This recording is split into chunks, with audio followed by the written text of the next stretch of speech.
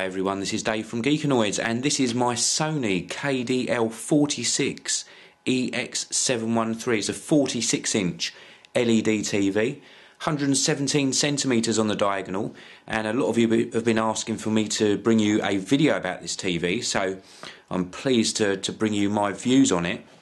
Now before I kick off with the actual review on the TV uh, I just want to show you what I've used to actually set this up. Now you saw this on my review of my 32 inch Sony TV. This is the Spears and Munsil High Definition Benchmark Blu-ray Edition. It's by Hand Forged Video. Uh, this is what you can see playing uh, on the screen at the moment. This is just some, some sort of test footage. Really fantastic disc. I'll show you some of the screens from this in a short while.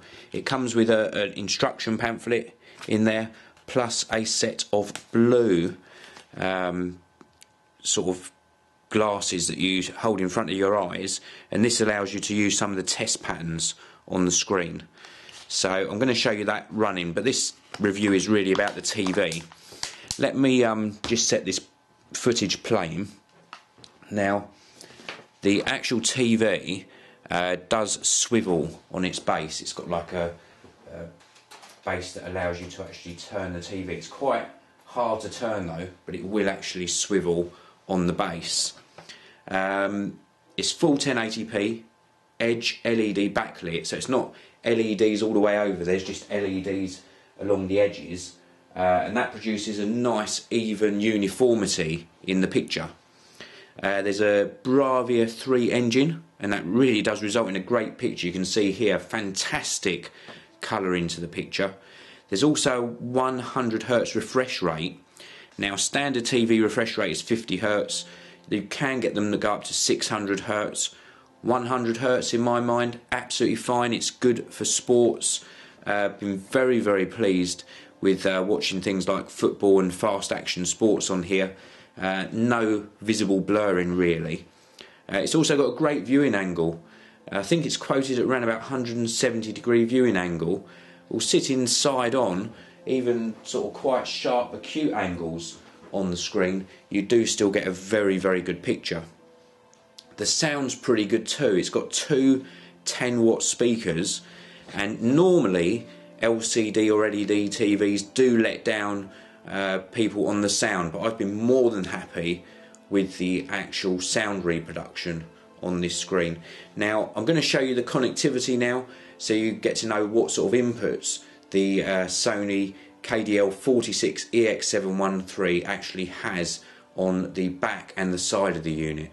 So this is the left hand side of the TV and here we've got a card slot, one USB socket and then just below here we've got a couple of HDMI sockets as well and then just underneath the HDMI sockets we've got some composite video sockets. So this is the rear of the TV and again this is to the left hand side of the TV or as you're looking at the back it's on the right hand side. And we've got an ethernet socket here because we can obviously connect this to the internet. We've also got an antenna in. That's for that digital freeview tuner. A couple of SCART sockets component video and audio. Then we've got here this is um, if I just come around this side this is a PC HDMI audio in socket. A couple more RCA type phono sockets here. We've got a 15 pin D sub. We've also got a couple more HDMI sockets there and also an optical digital audio out socket as well. Something I also wanted to point out, it's not a big deal but to some people it will be, is the AC in socket. It's like a figure 8 connector just in here this is great. I much prefer these to hardwired cables because it means if you need a longer power cable, you can just purchase one or make one up yourself rather than being stuck with the length of cable that the TV manufacturer decides. So as you can see, the TV has absolutely plenty of inputs on the back. Four HDMI sockets, you couldn't really want any more than that. Uh, before I show you this uh, setup disc that I used on the screen, I just want to show you the remote.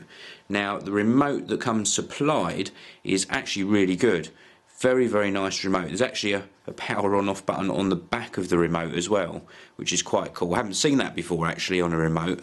Um, plenty of buttons on here for getting into things like the guide, uh, internet TV, because you can actually connect this via Ethernet uh, to your home network, or with an optional Wi Fi dongle, you can connect it wirelessly so you can get access to internet TV. Um, all of the buttons very nicely laid out. Let me just give you a look at some of the menus. Now, if I push, if I just bring this remote into view, um, on this remote here, if I push this top left one, this is what allows you to cycle round the inputs. Now, on some sets, you have to cycle round and go through each one. On this, you push the button and then you just select whichever input you want to go to. Well, I'm going through my Onkyo amp, so I would select Onkyo amp. Uh, if I select options, this brings up the picture settings, sound settings, favourites, uh, PAP menu, motion flow, presence sensor, scene select, sleep timer, headphone volume and speakers. Let me just show you, I'm not going to go through every menu on this, but let me show you the picture settings. And for this particular input, uh, we can uh, adjust the settings for each picture mode as well. So we've got plenty of picture modes to choose from. And we can adjust the backlight intensity, contrast, brightness, colour,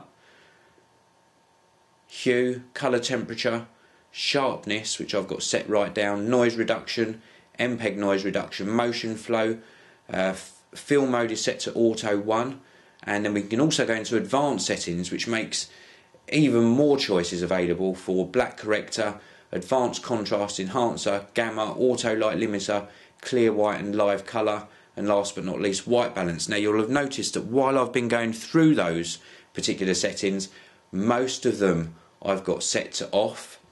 If I go back one stage in the menu, you'll also notice noise reduction I've got set to off and my sharpness I've got almost set down to zero and I do that with most of the TVs that I set up now I did use uh, this Blu-ray that's playing now, the Spears and Munsil Blu-ray, to actually make some settings to the set. I just want to show you what that uh, Blu-ray disc actually gives you.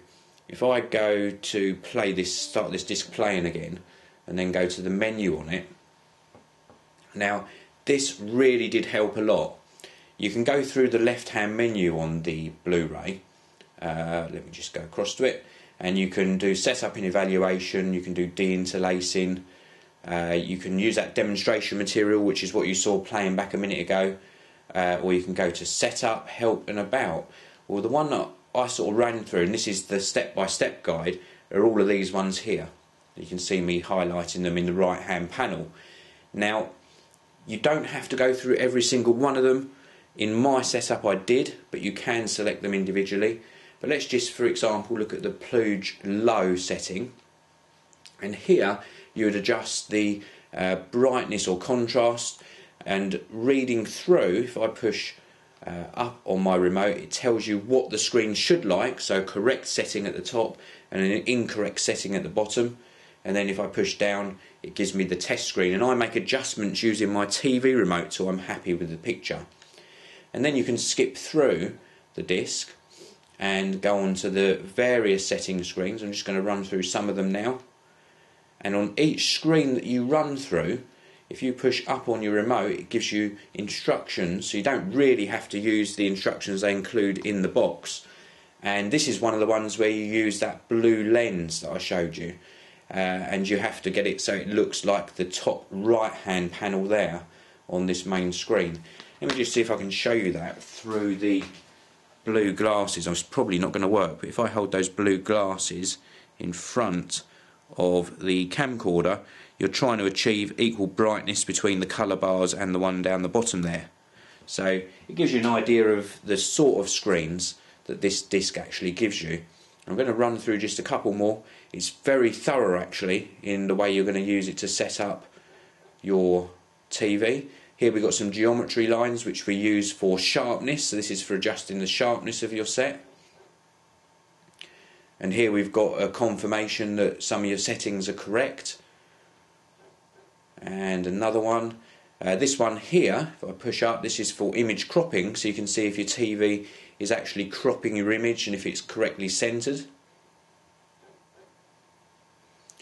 This one here is used for chroma alignment. Absolutely fantastic disc. And this one here is just a confirmation that your TV's set up correctly. If you look here, correct is all visible, incorrect is none visible. And, and this is um, something that shows up uh, sort of your contrast and brightness uh, accuracy on the TV. And as you can see, if I push down again, on this particular TV, it's not doing a great job of rendering different grayscales. That's one of the letdowns with this particular set. And the actual test material goes on. There is absolutely stacks of test screens that you go through to really test how good your TV set is. An invaluable disc, actually. Uh, the TV itself uh, is a big, big investment but spending another sort of 20 to 30 pounds on that, that Spears and Munsil disc is well worth it.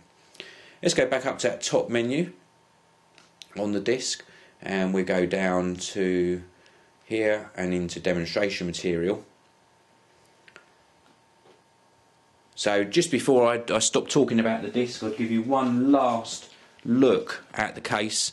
This is the Spears and Munsil High Definition Benchmark Blu-ray Edition. Well worth purchasing if you're investing in a uh, LCD or an LED TV. Um, just going on to what I don't like about the TV. Let me give you a look at this. The stand on it, very wobbly. So although it's perfectly alright, it's not going to tip over uh, the actual stand is a big letdown. They could have done a much better job with how it's mounted on that stand. One feature that I do like is it's got a presence sensor in it. Now you set a preset time, maybe 20 minutes or 30 minutes, and if everyone leaves the room, so there's nobody in the room, it actually puts the TV into standby. I like that a lot. I also like the fact that I can hook it up to my network for internet TV. It's got things like YouTube on there, plus a lot of other streams that you can select as well. I didn't buy the wireless dongle, didn't see it necessary because I can hook it up with a wire. The picture quality, absolutely fantastic. I mean, very, very happy with the picture quality. Pricing, I got a stunning deal on this. I'm in the UK. Uh, I shopped around. I got uh, one of the online retailers to do me a price match. Uh, I don't mind telling you who it was. It was John Lewis did a price match for me. £739 delivered with a five year guarantee. So £739 in the UK with a five year guarantee. I can't guarantee you're going to get that price. Their list price on the John Lewis website is £999. Now, this isn't a review product, I purchased this myself, uh, but very, very good. Good delivery time, good service from them as well. If you're in the US, it's going to cost you round about $1,900. Um, so, not sure if that represents a good value buy in the US. Let me know in the comments what you think about the pricing.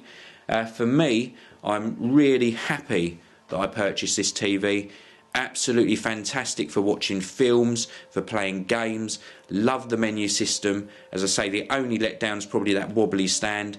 Uh, and possibly also just one thing to mention these side inputs on the HDMIs. I wish they put one of the uh, extra HDMIs on the back rather than on the side. But that said, very, very happy with it. This was my review of the Sony KDL46EX713. Thank you very much for watching. Please come back soon and check out more video reviews on the Geekanoids channel. This video review is sponsored by Crucial, the memory experts. They provide reliable PC, notebook and Mac memory to boost your system performance and improve your general workflow.